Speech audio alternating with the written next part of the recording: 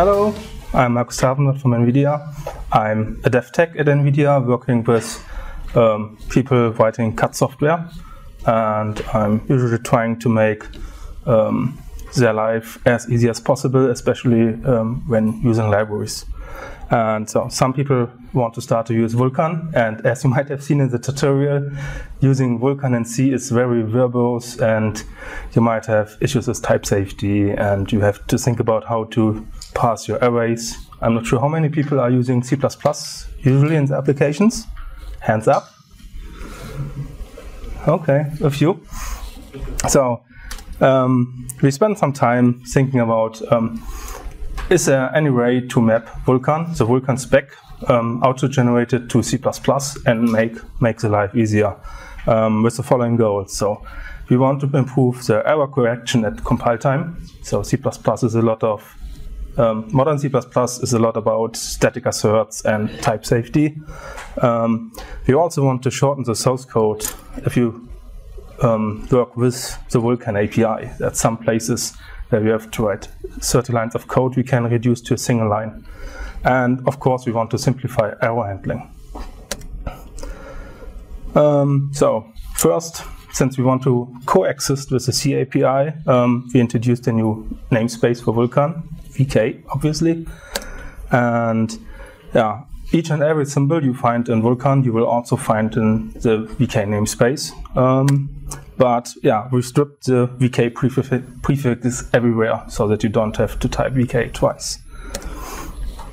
And yeah, this is about just pure API changes. Uh, next is about compile time error detection. So look at the following piece of code. Um, you might have seen something like this.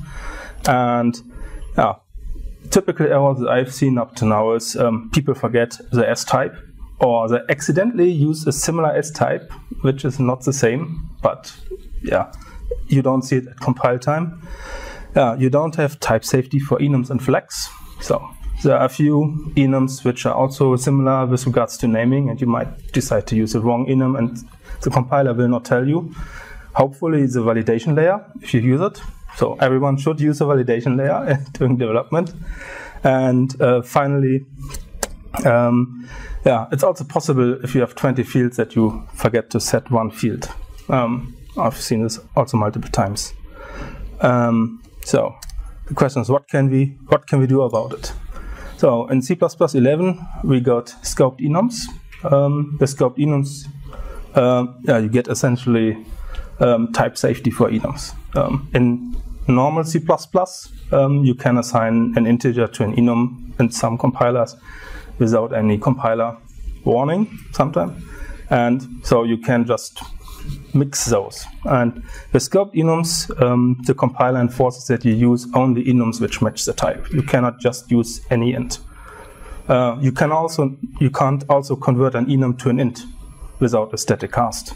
So it's quite safe. And for enums, uh, we decided we are going to strip the vk prefix of the enum. Um, the infix of the enum is basically the type, which is the name of the enum as camel case, and yeah, the suffix is the new enum name. Um, since some enums start with numbers, after you did your translation, uh, we had to add some prefix, and we added the prefix for all enums for consistency. So we took E for enum. And yeah, this way enums are type safe within the whole um, C++ Vulkan API. Um, yeah, the next thing um, which are not type safe are flags. So if you if you want to specify multiple pipelines, um, yeah, you have to OR multiple values, and you can't OR enums because there are no integers anymore.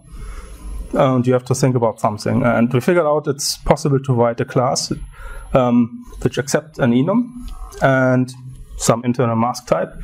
And this one provides um, operations on each and every enum you need. So you can have a QueueFlags class, which is now accepting initialization from a scoped enum, or you can use an OR, or yeah, yeah, you can use a direct operator. You can do um, bit testing, so you can check if any enum is set.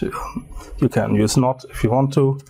Um, if you want to pass an enum to some function, um, you can use the empty constructor, which says no bit is set. You can't use a number zero at the moment. Um, we have an idea which might work, but we are not fully satisfied. And in the future, you will also get the not operator. It's not yet implemented, but we also know what to do. So this way you have um, type safe flags um, with all operations, or most operations you need in your life, and you can't accidentally mix up flags with something else. Um, the next part is um, yeah, the, all those create info structs. As said, it's possible that you mix up the S type and you have to specify it, you have to know the correct name, but it's also possible that you might miss some parameters. Um, so we decided we, we create one class for each create info, which automatically initializes as info. So you have no chance to set it from the outside. Um, we added a constructor which accepts all all fields of the class. So instead of defining your class and then setting each field, you can set all values in a constructor. And in, it, in addition with the type safety, um, you're guaranteed that you have initialized all fields with some hopefully valid value.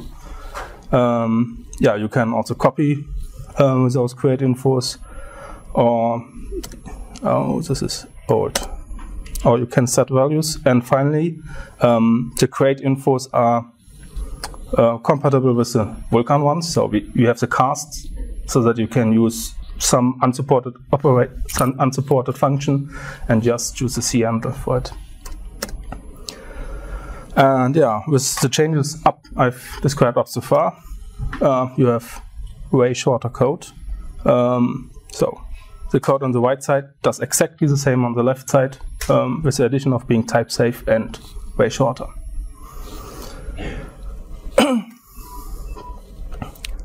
Um, some people might like the initializer list for C99, which is not available in C++. We have some emulation, so if you want to use the old initializer list style, you can use a set, set variable name, dot set variable name, and so on, and you can initialize all your fields. But if you are using this initialization type, be aware, you are not setting all fields if you are unlucky, because we can't guarantee at compile time that you don't miss a field. so the next interesting part are handles. So up to now, the API um, gives you type safety, some compile time checks, um, but this is still not how C++ feels like. It's still C functions a little bit more safe. So um, we decided that we convert the C, C style to C++ style object-oriented program. So for each handle, there's a class with the same name, um, which can be constructed from a native handle or yeah, from an internal function. Uh, and you have the standard operators, cast, and so on.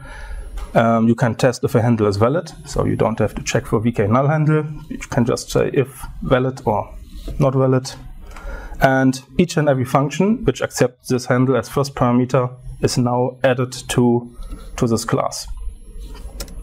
So now you can have your command buffer and just call functions uh, on the command buffer, um, which is also nice for code completion. And the next interesting part is um, in Vulkan uh, you have to pass everything um, as pointer pass, if you pass some struct as pointer, you can't create a temporary during the function call and get a pointer on it. So each of the new functions also converts all pointers to temporary to references because for references you have temporaries. And uh, since sometimes you might want to pass, an, pass a null pointer, um, we added an optional class which allows you to pass null pointer for the reference just to support this feature. And it's also interesting because if you see that there's an optional argument, you know this one is optional. And if optional is not available, you have, have to pass in a valid reference.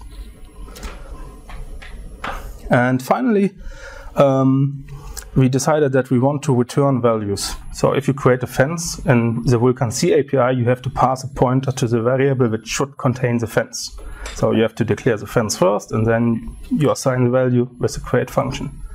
And we transformed all functions so that they return the fence for you.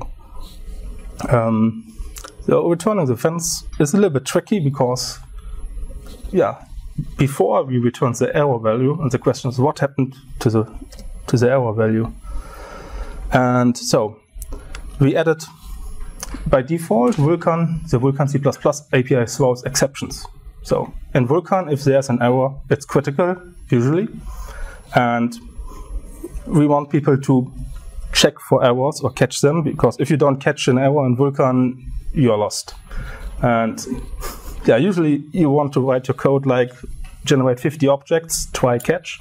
And if something in between goes wrong, you don't want to continue the code path in most cases. So what you do is you write try, put on all your code, catch, and if anything goes wrong, you have to destroy your objects you have created up to this place. Um, but yeah, you don't have to care for ever checking each line anymore. And yeah, sometimes people don't want to use, use exceptions. So who likes them? Who doesn't like them? So is for exceptions? Oh, one person. No. Uh, yeah. So since some people can't use exceptions because the compiler doesn't support them, there's a define Vulkan HPP no exceptions. If you set this one, um, we do return some special struct which contains um, the error, error value and the new created object. And yeah, you can use this result value and non-compress it, for example, with std, stdtie. Or on C++17, you can just write auto braces and put the two values inside and you're done. But yeah, usually you should try to use exception version because this way you can't ignore errors. So how does the code look like um, after all those transformations? So before before you had to create your fence, you had to create your create info, and then you could call, yeah, well, create my fence with this information and assert that there was no no error. Um, yeah, in C++, it's now a single line of code. So you just say create my fence. Um, the braces are for empty flags, uh, a null pointer for the allocator, and you try to catch the error.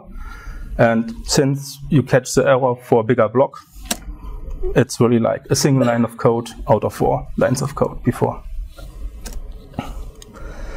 Um, yeah, the next interesting part is um, arrays as parameter input. So in C++, you have multiple ways to, to store errors in your code. And we, we wanted to support as much as possible. Um, so for example, look at, at a scissor. Um, at the set scissor function, yeah, you want to pass a count and a pointer. And yeah, sometimes it's just one. Sometimes you might have 10 scissors. And you have to initialize them somehow in the code. And so we decided that we replace all functions which accept a count and a pointer by some array proxy, which accepts um, different types of arrays as input and just passes them to Vulkan. So, for example, you can now write um, set scissor um, with initializer lists and just pass the rectangle directly because it's just a single one. Also quite convenient. So you have, you have the offset, you have the extent, and both together make up a rectangle. And so everything else was an std vector. Today it will be an initializer list. Those are slightly older slides. So this way, yeah, the count and the real data size is always correct. So you can't mix up an array of size 2 and pass an account of size 10. Uh, the lifetime of this temporary um, is exactly the time of the function call. So you can't pass data which is invalid at calling time. And so it's way safer and way more short. And those are all the types we support. Um, so you can pass in an empty list, which means I don't want to pass any values. You can pass in just a null pointer, which is equivalent to an empty list. You can pass um, just a single element, which is um, yeah, an element of count of 1. You can pass a normal pointer, pointer count if you have data from your external library, you can, um, if you pass just braces and multiple objects, it will automatically generate an initializer list, which has no runtime overhead at all. Um, or if you have built up an std vector, um, you can parse it with your custom allocator, uh, or you can create an S or you can pass an std array if you have decided for the data structure. and all of those values are handled with a single array proxy object in between, so that we don't have an explosion in the interface. Um, the first version had two, just two functions, std vector and um, count pointer, and if we would have added all combinations, the header would be so big that it doesn't work. Um, uh, one of the last topics I want to talk about today are enumerations or queries. Um, so if you want to query some values in Vulkan, um, yeah, most of the code I've seen creates an std vector and some count, and then you call Vulkan, tell me how much elements am I going to get from you? And Vulkan says, yeah, you get uh, q count elements. So you, you resize your vector, uh, you query the data, and yeah, in fact, the loop is more complicated because if the q count changes in this call, you have to do the same thing again, which is possible in theory. And the short version is, um, yeah, you just say, Vulkan, give me a vector of all queue family properties. Since the code is always the same and we can identify all functions which return an enumeration, we generate code which does all the stuff for you. So everything which is queried goes through goes through some std vector return value. You, you're also allowed to use the old version, but who wants to use the complex code if there's a simple one? Um, yeah. Yeah, I'm, I'm nearly done. Okay, yeah, this is a this is the loop again with a while loop. Um, so let's skip it. One last thing, if you're updating um, buffers, yeah, you have also this is one case in the API where you pass a device size and a pointer. We have an, and you have to pass in the correct values. You have to multiply the size and so on. And um, for this case, we also have an update buffer function, which gets an std vector of type t. This one will statically assert that size of t is a multiple of 4, which is not working in all of your cases, but it ensures that you are passing always a valid size to, size to Vulkan, because those updates has to be a multiple of 4 from the size. If, if your type is not a multiple of 4, you have to use the normal version, which is also available. Um, yeah, and last one, last slide. Um, you might have seen in one of the slides this conversion function from some flags to to the output where we check, okay, is this flag set append something to the string? Um, we have generated two string functions for each and every enum and for flags. So you just call to string on any flags or any enum and you get a string back. You get a string So you can use for stdc out or ostream or whatever.